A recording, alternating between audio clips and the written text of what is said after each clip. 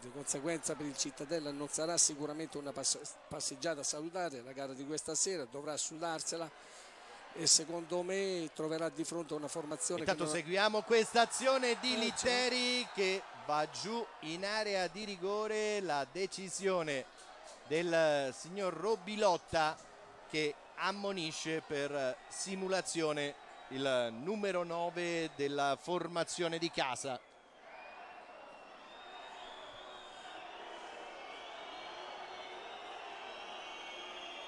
Rumoreggia il pubblico sugli spalti, disapprovazione per la decisione del signor Robilotta. E abbiamo un'immagine che non ci chiarisce del tutto l'intervento da parte del difensore del, difensore del Pordenone ai danni proprio della, di Litteri.